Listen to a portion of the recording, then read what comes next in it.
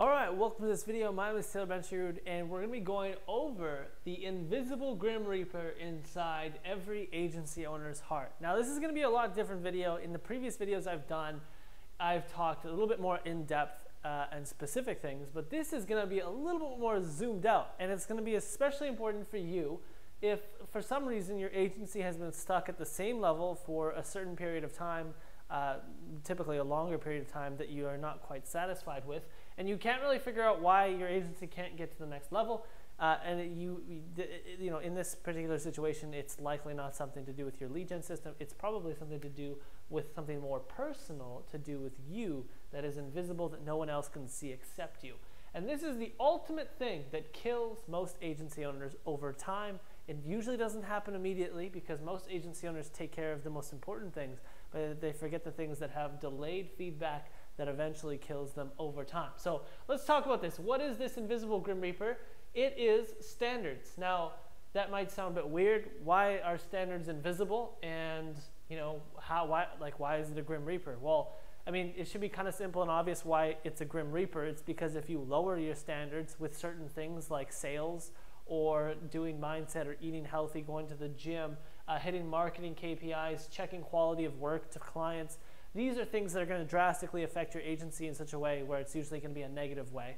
And the other thing is that uh, these standards, when dropped, uh, can only be seen by you. All right. So why, why is that? Why are standards invisible to anybody else? Well, think about it. In your business, in your agency, let's say you've got three or four or five employees, it doesn't matter. All right, you are not an employee. You are the business owner. Therefore, your standards are not being held accountable by anybody else. You are your own boss. You're the, you're the founder, the owner, the driver of the agency. And there's nobody that's watching over you saying, hey, why didn't you come into work today on time? Saying, hey, you know, what, why aren't you going to the gym? This is an important thing to make sure that you're, you're, you're focused and you have clarity in your work. You have energy and, and you know, more energy to work. And, you know, nobody's going to be holding you accountable for any of these things because you are not employee. You are the owner of the agency. And this is something that took me a long time to realize, a long time to figure out.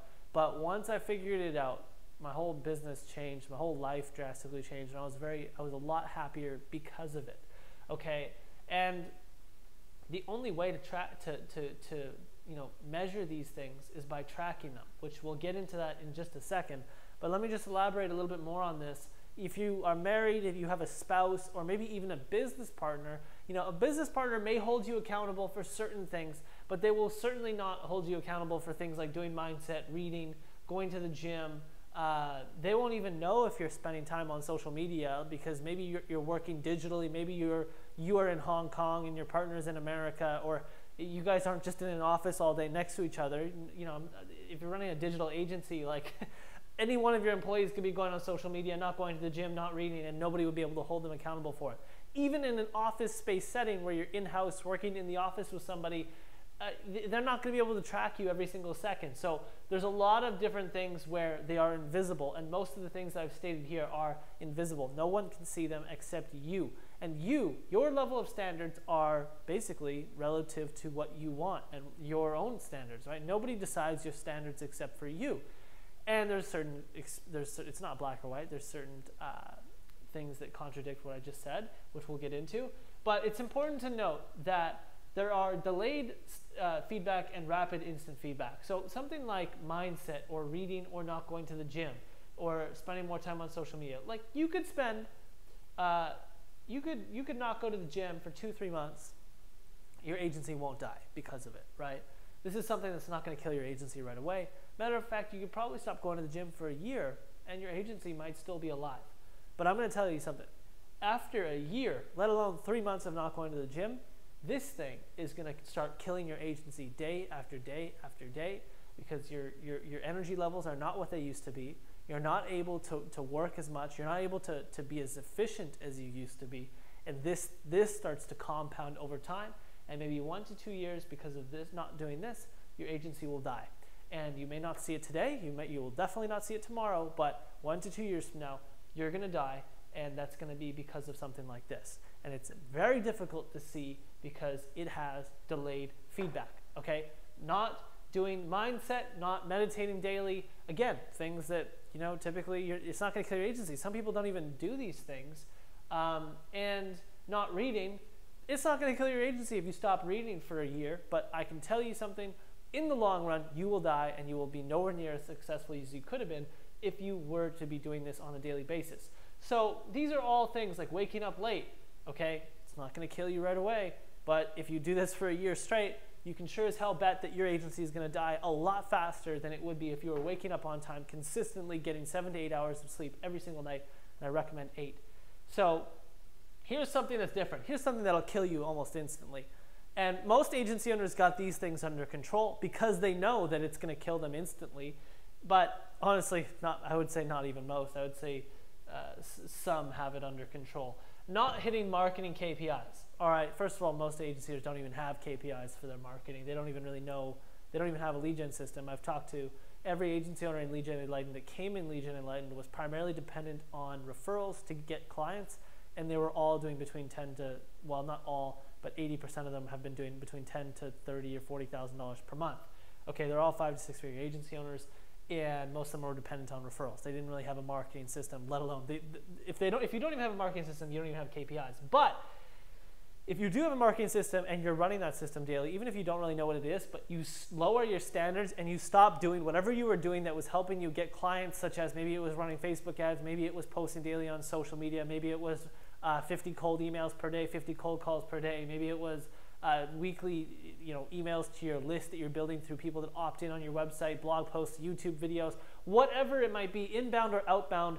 If you lower your standards on the amount of inbound or outbound, uh, you know, inputs that you put in, and you lower your standards, this thing is going to kill you, and it's going to happen very quickly because if you are not hitting your KPIs and you're not putting uh, content out daily, or you're not, uh, you know, sending out emails daily, or you're not uh, contacting prospects daily, you're, you're, you're not going to be able to sign as many clients and your business's revenue is rapidly going to decline because of it. So this, this thing here has rapid, very instant feedback and this will kill you very quickly in a matter of 30 to 60 days if you stop doing this or if you lower your standards. Again, the, the lower your standards go, the faster this thing kills you, okay? Uh, something like not checking quality of work, again, rapid instant feedback. If you're not holding your employees accountable for delivering quality, for delivering deliverables in a quality uh, standard, you know, and for some reason they're launching campaigns or they're delivering shit work that is not that great, that's not getting the clients the results that they wanted to because you're not checking up on the employees anymore. This is going to rapidly kill your agency. You're going to lose clients very quickly. Projects are not going to get fulfilled. Margins are going to deteriorate very rapidly. And you're going to absolutely get killed in very, very short period of time. So, there are things that are that have delayed feedback and there are things that have rapid instant feedback, but it's important to note that there, these standards are predominantly invisible. You can only see them, and some of them have delayed feedback, some of them have instant feedback. And now that you know all of that, let's get into the laws of standards, how you can manage these things, be aware of problems, and prevent your, yourself from, from lowering your standards. All right? Now, here's the thing to understand about standards. Okay, first of all, the first law of understanding standards is that there are ebbs and flows. What does this mean? So, ebbs and flows looks like this. It goes up and down, up and down, up and down, and there's a top and there's a low, and it stays consistently within that top and within that low. All right?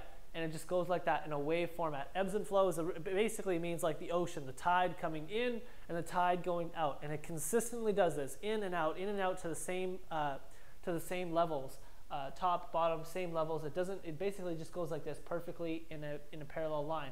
And there's there's there's tops like that. There's a top level and there's a bottom level. And you could call this like a plateau. It's almost like fluctuating within a plateau, within two certain levels. This is what uh, standards do. Standards typically fluctuate between a high standard and a low standard. All right. So let me give you an example of this. Uh, a very easy one to do is the bank account your, your personal body weight.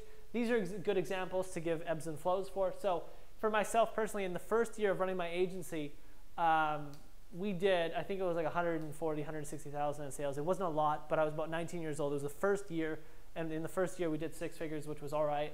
Um, and the thing that, that, that was very interesting to me looking back is that whenever I got about $20,000 in my bank account, I would suddenly just start spending money like crazy. I don't even know what it was on. When I looked back through my financials, it was like courses, softwares, uh, hiring people I didn't really need, uh, lots of different stupid crap, clothes, um, ridiculous things that I didn't really need. Uh, that were not really helping my business grow that much or as much as it could be if, if I would have invested the money in other things.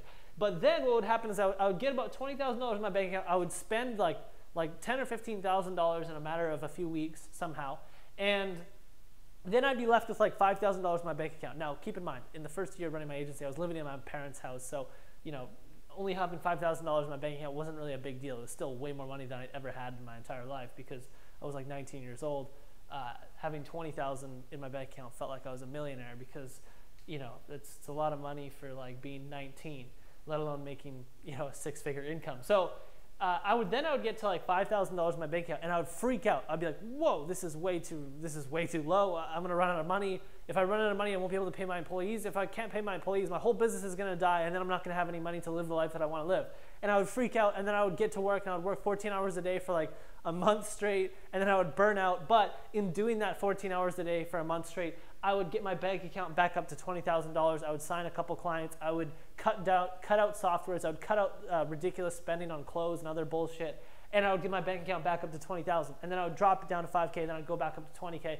And it was ridiculous. I, I kid you not, for the first year in my agency, although we made about 100, 160,000 um, in that year, at the end of the year, I was only left with like ten to $15,000 in my bank account because I was fluctuating and I didn't understand this, what I'm talking to you about right now. And so my standard, my personal standard in that first year of running my agency, my highest standard for, for myself was $20,000.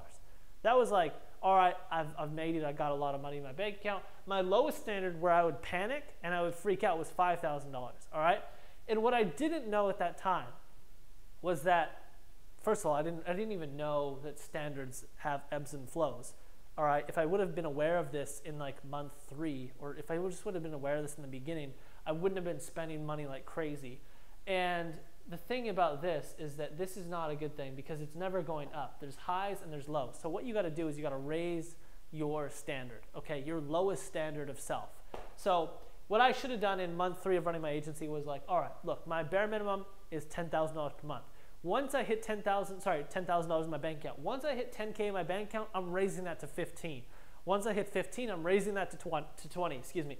Once I hit 20, I'm raising that to 25. And I'm co constantly, excuse me, raising my lowest standard for myself for my bank account. This is just one dimension. This is just one aspect of life, right? There's tons of different aspects, right? Such as waking up on time, uh, my body weight, reading daily, etc. All these things. But another example of this is like my body weight. So a good healthy body weight for me is about 160 pounds. Uh, I don't know my body fat percentage, but I know that like I feel really energetic and good if I work out four times per week, and if I do that uh, with the certain intensity of my workouts that I, have a personal trainer now, I'll weigh about 160 pounds. All right, but if I get to 170 pounds, like this is my lowest standard for myself, and this is I've never actually had this. I've always been around 160 pounds, but this is just an example. Um, if I got to 175 pounds, my cheeks would be chubby, uh, my my belly would be coming out, like I would look like I'm, I was getting fat and then I would start to freak out. I'd be looking in the mirror and I'd be like, whoa, whoa, whoa, this is too crazy. I'd go to the gym, I would start eating healthy, and I would go crazy until I got to 160, and then things would start to go back down, right? And so this is how your standards ebbs and flows, right? Your standards ebbs and flows, right? It goes up and it goes down. There's a high standard for yourself and there's a low standard for yourself, and you will never go below your low standard of self, right? There's a certain point where you start to panic, and you'll make sure you don't go below that point. Everybody has this point. You have this point for your bank account, you have this point for your weight, you have this point for basically like not hitting your marketing KPIs, which is basically like making sure that you're doing daily inputs of lead gen. For example, if your bank account goes down to 5K per month, you're no longer going to be not you know hitting these marketing KPIs. You're definitely going to be hitting them. You're going to be over hitting them because you're going to be in a panic to make more money. So as these these these things go up and down, other standards start to go up and down. And it's like a tree, just like one little branch has tons of different nodes and leaves and standards that are attached to lots of different other things. Um, but staying on track here, ebbs and flows. That's a very important thing to note. The second thing is really the opposite of ebbs and flows. Not really opposite, but this is like the not so great scenario. But this is what you want. This is the better scenario. So let's say your bank account gets to $20,000, right? It's the most money you've ever had in your bank account. Great. And then it goes down to about $10,000 and you're like, whoa, whoa, whoa. All right, this is too low. My bare minimum is $10,000 per month. Then you get up to 20 and you're right at you're right about to break that new record of like $20,000 right here. You you want to pass it. You want to make sure you go past that thing and get to like 30 or $40,000 per month. Then you get to 40,000 you're like, "Damn, look at this. I got $40,000 in my bank account. That's 20 that's like the most money I've ever had." My new lowest standard for myself is not going to be $10,000 per month. I'm going to raise that standard. I'm going to raise it up to $20,000 per month, all right? So, no longer am I going to panic at 10,000. I'm going to panic at 20,000. All right. And then you go, you, you're at 40,000, but you start spending money and you get to that $20,000 per, uh, $20,000 in your bank account mark and you start to panic and hopefully you don't even go there. I, I mean, this is, you shouldn't have to go there. But if you do, if it does go there, you start to panic, you start making money and you get up to 60,000. So you, you pass that, that record of 40K and you get up to 60 and it's, it goes like this in an upward spiral. Okay. So the thing about the ebbs and flows is it doesn't go up and it, it, it, doesn't have an upward spiral. There's a top and there's a bottom, and it never goes past that top and it never goes below that bottom. And in, in a very terrible scenario, it would go below the bottom and it would spiral downward. That's the, that's the typical example of a dying agency that's about to go out of business or in debt. Um, and this is an ideal example. Now, it's never going to be like this uh, constantly. There may be points where your bank account actually does go down below the, the low mark or the standards. But if you if you're at a point where you know you got like let's just say two three million dollars in your bank account, and you go down to like let's just say you got three million in your bank account, you go down to like two million. It's there's a certain point where you have enough money and you know your margins in your business where you can, you know the the, the amount that you invest in into uh, R and D research and development it can you don't really need to set as you know as uh, high of low standards. You still should have them, but it changes once you have a lot of money and you got like a huge war chest of wealth. It, it changes, but this is we're, we're talking primarily for five to six figure agency owners, and typically a five to six figure agency uh, is not going to have two, three, four million dollars cash in the bank account, but Moving on, uh, tracking prevents plateaus. Okay, so this is a plateau, right? It, it's a fluctuation within a plateau, right? So this is like the bottom, this is the top. It's just a plateau. You're fluctuating between a high and a low.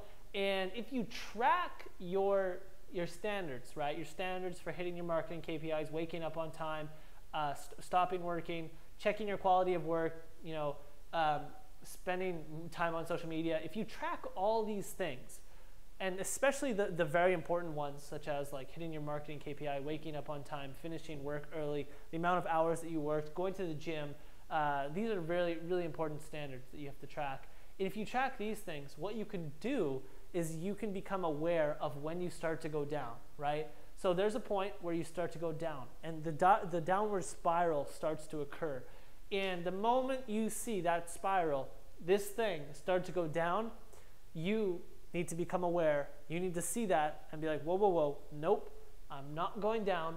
And you need to stop it and you need to make sure it goes up. Okay? So you need to catch yourself right here when it starts to go down and make sure that it that you catch it so that you can continue to go up and you can break this level that you've never broken before. And this is how it happens. It's very simple. It's really weird how if you once you become aware of it, you can just break it very easily. But for me, like I said in the first year of running my agency, I, I didn't know this. I wish somebody had told me this, but I didn't find it anywhere. So that's why I'm telling you it now. And tracking, how do you do tracking? Well, I have something called a human dashboard. I've spoken about it in a previous video I did about three videos ago. If you go to my channel on YouTube, you'll see uh, a video called Managing Yourself with a Human Dashboard. This human dashboard tells me very important things such as the time I wake up, the time I go to sleep, the amount of hours I worked uh, per day. And it tells me with trend lines if I'm trending up or I'm trending down in all these different standards. Okay? And I know how much time I spend like just not working, for example, just hanging out with my girlfriend, which is usually typically two to three hours per day. And on Sundays, I don't work at all. So throughout a given day, I'll spend um, like one full day with her and then two hours per day for six days of the week usually. And then it tells me all these different things so that I know when my standards start to drop so that I can pick them back up and break a new uh, all-time high record and make sure that my standards for, in every regard of life are constantly going up in this spiral uh, pattern upwards. Because nobody's perfect like nobody's life is just going to be a constant linear upward uh, graph like that. It's going to fluctuate but you want it to fluctuate up. You don't want it to fluctuate like this where it just goes parallel because this means you're plateaued. All right? So the, the last thing that we're going to talk about is mentors can see the grim reaper inside of you so if you have a mentor if you have somebody who you're speaking with on a weekly basis, maybe once or twice a week, once a month really isn't enough. I think you need to speak with somebody once or twice a week minimum in order for them to really help you out a lot. And if, if, if this is somebody who is levels ahead of you and they're where you want to be and they got there organically in a natural way, but what I mean by that is like they grew their business or their agency uh, naturally. They didn't screw people over. They didn't do anything like that. And they did it recently so that you know that the information that they're going to be providing you is is uh, you know good information. It's not outdated. For example, if somebody grew their agency 10 years ago to 20 million uh, per year, like they were probably using like radio ads or like TV ads or weird different advertising that is totally irrelevant to today. So that probably wouldn't be the best mentor. But if you find somebody who grew their agency to uh, 10 million per year, and they did it in the last three or four years, well, they likely used like Facebook ads, Google ads, or different things that apply to your agency and your business. So if you can find a mentor who has gotten their agency to where you want to get your agency to, and they've done it recently, and you're able to speak to them once or twice per week, this is somebody who can see the Grim Reaper inside of you and hold you accountable to make sure that you don't drop your standards and you don't get stuck in this terrible uh, ebbs and flow plateau, this, this, this is a terrible place to be. And one of the first things that they'll do, like the, the first and best low hanging fruit that any mentor could give someone, is a tracking system to track their standards and track what time they're waking up, what time they're going to sleep, how many hours per day they're working, how many hours per day they're spending on social media and other crap that doesn't fucking matter, how much time they're spending drinking alcohol, going out party, waking up super late, um, you know, how much time they spend reading per day, if they're hitting their marketing KPIs, if they're not checking their quality of work. There's a, they're, they're, they're, they're basically giving you a system that allows you to track all these things. This is why it's one of the most important things uh, in Lead Gen Enlightened. It's called the human dashboard, and I walk through it. And there's other things, like the human dashboard doesn't talk about marketing KPIs, it talks more uh, about personal standards, like waking up on time, how much time you spend uh, working, what time you go to sleep, if you worked out, etc. But there are different sheets in the marketing section um, in Lead Gen Enlighten that talk about tracking your marketing. So find a mentor. If you can't find a mentor, you need to try to build your own tracking system. And if you want to build your own tracking system, I would recommend you check out the human dashboard video I made to, so you can see an example of how, how I've done that, how that's done, and how you can potentially rep replicate it as well. Um, but this thing about mentors is really important. I mean, honestly, when I found the right mentor, my, my, my business, my whole life, it, it just changed. Like I've spent almost $100,000 on courses. I've talked about this publicly. Uh, I posted about it on Facebook. If you want to see the exact courses I've purchased, you can literally scroll through my Facebook feed and you'll see there's a post I made about a month ago or two months ago where I talked about all the courses I've bought, the price points that they were at, and there's there's been a couple mentors and people that I've invested in that have really changed my life. And honestly, it's well worth it to try to find somebody that can do that for you. So hopefully you found this video valuable. If you liked it, feel free to let me know your thoughts in the comment section below. And um, if you want to learn more about what Gen Enlightened is and how I'm helping five to six figure agency owners to build a gen system and automate their agency, um, you can check out the link in the description. My website is just taylorbenterud.com. There's a case study on my site. You can book a call with me if you like the case study. You want to talk to me about what Lead Gen Enlightened is. Um, and that's pretty much it. So thanks for watching this video. If you liked it, feel free to subscribe. Definitely comment below. Let me know your thoughts. And I appreciate you checking out this video and learning about the invisible Grim Reaper inside every agency owner's heart. Ciao.